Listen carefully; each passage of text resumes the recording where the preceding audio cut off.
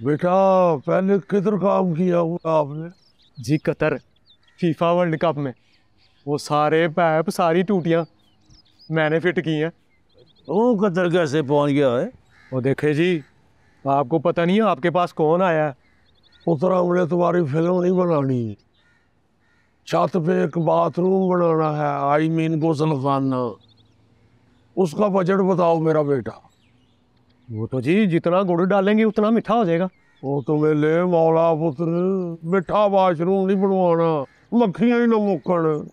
और मेरे कहने का मतलब है खान साहब जितना खर्चा करेंगे उतना बन जाएगा। आप ये बताएँ देसी सीट लगानी है कि अंग्रेज़ी? पाकिस्तानी टाइल लगवानी है कि इटालियन? या उससे भी आला Spanish tile? Jacuzzi bath tub बनवाना है।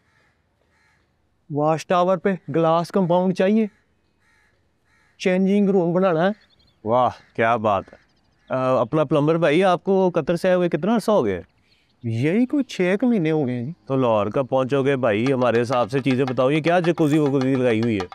स्टैंड अप गर्ल जुमेरात और जुम्मा रात आठ बजे। ये दुनिया एक पागल खाना है। और हम इसके कैदी। द इलेवेंथ क्लब ना तो पागल खाना है ना ही नफसियाती और दिमागी बीमारियों की इलाज का। ये तो एक हसीन दुनिया है जो चंद हसास लोगों के लिए बसाई गई है। ये तो इससे पूछो। जल्दी तो तुम्हें।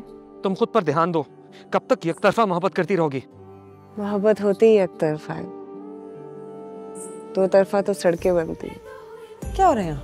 यहाँ कुछ नहीं हो रहा वहाँ तुम्हारा इंटरव्यू हो रहा है। चलो। डॉक्टर यहाँ रहूँ या वहाँ? बात तो एक ही है। बहुत जल्द। सिर्फ़ ग्रीन एंटरटेनमेंट पर।